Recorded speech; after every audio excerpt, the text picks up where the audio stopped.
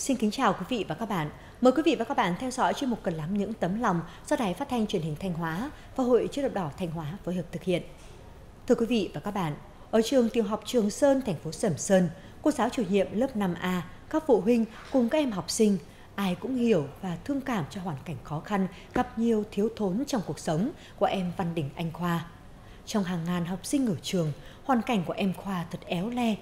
Em hiện đang ở với ông nội già yếu, thường xuyên phải đi viện.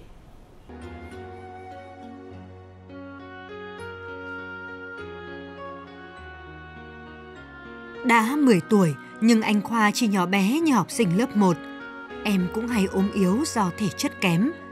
Nắm được hoàn cảnh khó khăn của em, cô giáo chủ nhiệm lớp 5A hết sức quan tâm động viên, bổ trợ thêm kiến thức cho em. Nhưng lực học của em so với các bạn cùng lớp vẫn hạn chế. Hoàn cảnh của cháu rất là đặc biệt. Tôi cũng đã xuống tận nhà để thăm gia đình, thì biết được cháu là gia đình có ba anh em nhưng mà bố mẹ thì bỏ nhau rồi nghĩa là không ai nuôi các cháu cả. Ba anh em thì không được sống chung cùng với bố mẹ không được sống chung cùng nhau mà mỗi anh em một nơi. Thì hoàn cảnh của cháu rất là khó khăn. Cho nên là tôi cũng ờ, kịp thời động viên và cũng nhân đây là cũng mong muốn là, là các nhà hảo tâm rồi cũng như là các tổ chức quan tâm tới cháu động viên cháu để cho cháu có động lực vươn lên học tập tốt hơn.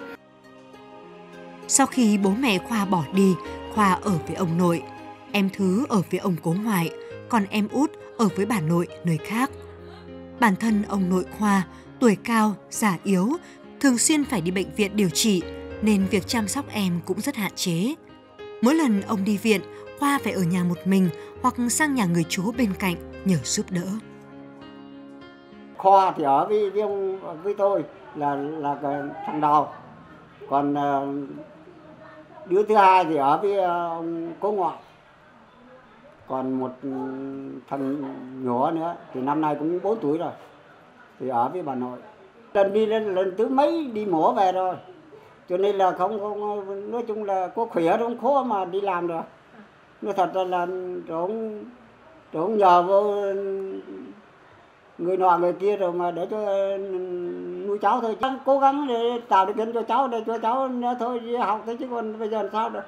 Ví dụ cái bút cái, cái bút quyển sách rồi ăn uống sáng cũng ấy luôn cho đủ cho để cho cháu đi cái chứ.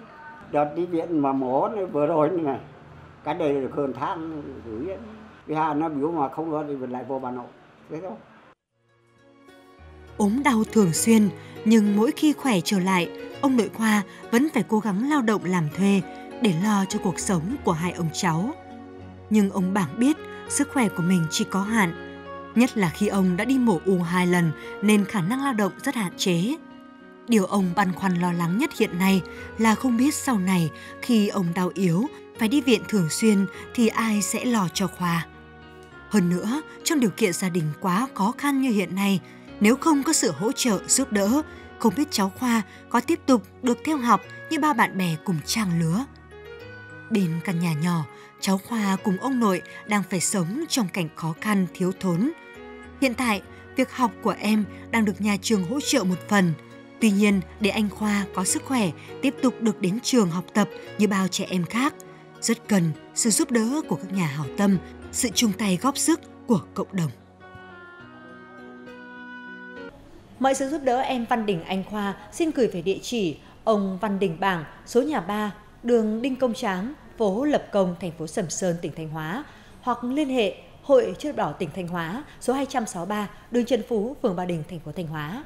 Điện thoại 0942 424 679 hoặc chuyển tiền ủng hộ về tài khoản 3500 201 026 060 Ngân hàng Nông nghiệp và Phát triển Nông thôn chi nhánh Thanh Hóa. Chuyên mục cần làm những tấm lòng ngày hôm nay xin được kết thúc tại đây. Xin kính chào và hẹn gặp lại.